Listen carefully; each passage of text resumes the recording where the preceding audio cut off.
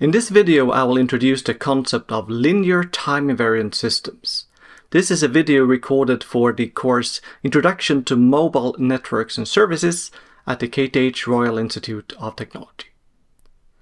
When we work with systems, it's all about having a black box that takes an input signal and produces an output signal. And system models for boxes like this is something that can be used in many different applications. In electrocommunication, the signals might be some kind of voltages or currents that is processed by a box that is providing some output. And often we write the signals, x of t and y of t, as something that is dependent on time. And the box is exactly what we call a system. It can, for example, be a function that takes the input and produces the output. And the question is what kind of properties this function might have. In a way, the system is manipulating the signal. And it can also be viewed as a filter that filters the signals and provides us a version of it that is maybe distorted at the output. Before analyzing the system, we will take a closer look at what kind of input signals we might be interested in.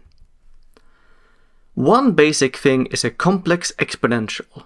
This is a function which contains a cosine and a sine with a particular frequency f. So it's cosine of 2 pi ft is the time.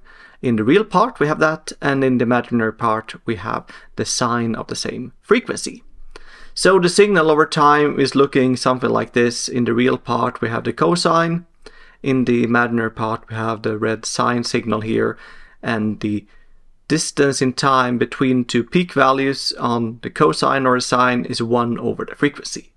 This is a typical kind of signal in communication, and we can use the amplitude and phase of it to convey information, but when analyzing systems we will instead look at some other signals.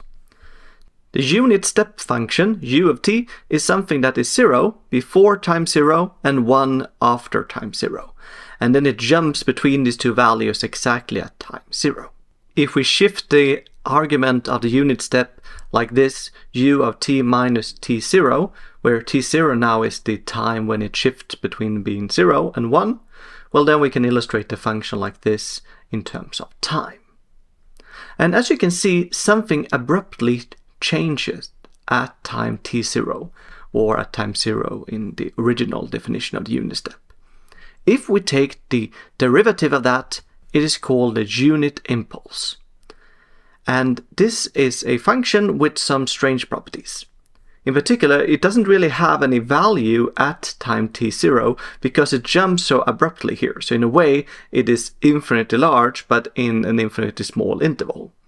In particular, the impulse response had a property that if you take another signal, x of t, multiply it with delta of t minus a, and take an integral from minus infinity to infinity, well then the output of this will be x at time a. So at the value of t, where we get a zero inside the impulse here, namely when t is equal to a, well then we put in a as the value of t in the x function and we get the sample of that one. And as I was saying before, the unit impulse is the derivative of the unit step function and the other way around we can get the unit step function by taking an integral from minus infinity to time t of the unit impulse function. And we often draw a unit impulse like this with an arrow at exactly the point where the unit step would have happened. So this is where the unit impulse have a value and elsewhere it is exactly zero. The unit impulse is also known as the Dirac delta function. Let us now have a look at systems. So a system in a general case is something that takes an input signal and provides an output signal. And an energy-free system is one where there is no transients in the system that is affecting the output on itself. No, it is the input that determines the output. So if the input is constant, the output is constant. And that is what we are interested in as well. The impulse response is what you get when you are sending an unit impulse into an energy-free system. Then you get some signal at the output and we call this the impulse response. And it turns out that everything that is happening inside the system is determined entirely by this impulse response. There is one type of systems that is particularly interesting to analyze, linear time invariant or LTI systems, where linear means that the output is a scaled and time delayed version of the input. And time invariant means that the system always reacts in the same way irrespective of when we are sending a particular signal. And in the remainder of this video, I will introduce these concepts in more detail and give you examples of things that are linear or nonlinear, or time invariant or not. We start with the concept of a linear system. So consider a system like this. It's a box that takes an input. And we let the input be called x1 of t, and then we get the output y1 of t. If we send another input x2 of t, we get y2 of t as the output. And the system is linear if we can do like this. We take a linear combination, so a summation of the two input signals, multiplied with two different coefficients, a1 and a2. Then the output should be the same kind of linear combination here, a1 of y1 of t plus a2 of y2 of t. So it's a linear combination the same way of the individual outputs here that we will get if we were feeding in only one of the signals. And this should happen for any A1 and A2, any X1 and X2. Then the system is linear. In any other case, we say that the system is non-linear. Let us take an example here. So is the following system linear? It is one where we are sending an arbitrary signal x of t into the system, and then the output is x of t minus 1, so a delayed version of the input? Well, the way to figure this out is to consider two different versions of x of t, x1 of t and x2 of t. The system will then provide us with the outputs x1 of t minus 1 and x2 of t minus 1. So how do we verify if this is a linear system or not? Well, we consider an x of t which is a linear combination of x1 and x2 with some arbitrary coefficients a1 and a2. If we would send this now into a system, the output should be y of t, which is that we are taking the same input as we were having, but we delay all of the places where we have the time, t should be t minus 1. So we apply this at both cases here. So a1 of x1 t minus 1 plus a2 x2 of t minus 1. So it's these arguments here that is updated by the system. And we can now identify that x1 of t minus 1, that is y1 of t. And x2 of t minus 1, that is y2 of t. So we can rewrite the whole thing like this. And this is exactly what the definition of a linear system says. That if we take a linear combination of the input, we get a linear combination of the outputs. So this is a linear system. Here is another example. x of t is the input and the system provides us with an output which is xt squared. Is this a linear system? Well, we can check this in the same way. We consider two different signals, x1 of t, which provides us an output which is x1 squared of t. And x2 of t is another input signal, then we will get an output which is x2 of t squared. Is this a linear system? Well, we consider now a linear combination of the inputs with some arbitrary coefficients a1 and a2. If we feed this into the system, we know from the first line here that the output should be its squared. So y of t is this exact expression squared. If we now expand this square, we get the first term squared, we get the second term squared, and we get 2 times the product of them, this term here. So how can we verify if this is a linear system? Well, we need to have a look at is this a linear combination of the individual outputs here? Is it equal to a1 times this plus a2 times this, which would be a1 of x1 squared plus a2 of x2 squared? No, this is different from what we were actually getting. We don't have the squares on the coefficients, and we don't have this extra term here. So this is not a linear combination of the outputs. So it is not a linear system, it is a non-linear system. Then we have a time invariant system. This is a system that takes an input and provides an output.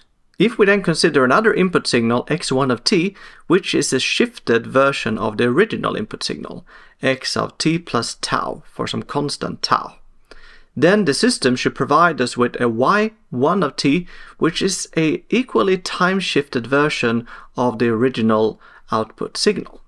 If this is the case for any input signal, for any t and any tau, well then the system is time invariant. Otherwise, the system is called time variant or time varying. So here's an example. Is this following system time invariant? So x of t is the input and the system is providing us with y of t being x of t minus 1. We can verify by saying, okay, here is my other input, x1 of t. And we provide x of t plus tau if the system is time invariant, we should get y1 of t, which is y of t plus tau. Do we get that? Well, the true output that we are providing us with, y1 of t should be x1 of t minus 1. This is what we get here if we just add the indices here. And now we are considering what x1 of t is. Well, it's this expression here. So if we are taking t and replace it with t plus tau here, we get x of t plus tau, and then we have the minus 1 term. So this is the actual output we are getting from the system. The, the output that we will get if we have a time invariant system is y of t plus tau in the same way like this. And if we take t plus tau and feed it into this expression here, we get t plus tau and then we once again have the minus. So yes, we have the same cases here. The true output matches with what we would get if the system is time invariant, so this is a time invariant system. Here is another example.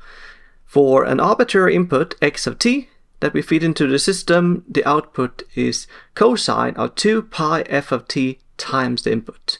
So we are modulating it with a cosine with a particular frequency here. We can follow the same approach in order to figure out if this is a time invariant system. So we consider x1 of t, which is a shifted version in time of the input. And if it is a time invariant system, the output will be a equally time shifted version. If we send this signal into our system, the true output that we are getting according to this relationship here is y1 of t is cosine of 2 pi ft times x1 of t, and x1 of t is x of t plus tau.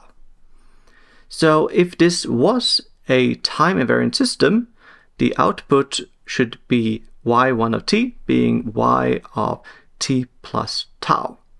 And if we take this and feed it into the original equation here, we get 2 pi ft plus tau, and then x of t plus tau. And we can see that there is a mismatch over here, t and t plus tau. So this is not a time varying system because y1 of t is not equal to yt plus tau. And in general, when there is something happening inside the system that is time dependent, like this cosine here, it is not a time invariant system. We now have the following definition. A system that is both linear and time invariant is referred to as a linear time invariant or LTI system. An example of that is y of t being equal to x of t minus 1. This is an LTI system as we have seen. And in general, there are many properties that LTI systems are having that we are using all the time when analyzing communication systems. So one of them is that x of t is the input, well then the output is x multiplied with the impulse response, h of t, in a type of multiplication called the convolution. And when one is going into Fourier transforms, well then if you take the Fourier transform of the input multiply it with the Fourier transform of the impulse response called the frequency response. Then if we are multiplying them together, x sub f times h of f, we get the Fourier transform of the output signal. These are two important relationships that we will utilize a lot later in this course. Thank you very much for watching.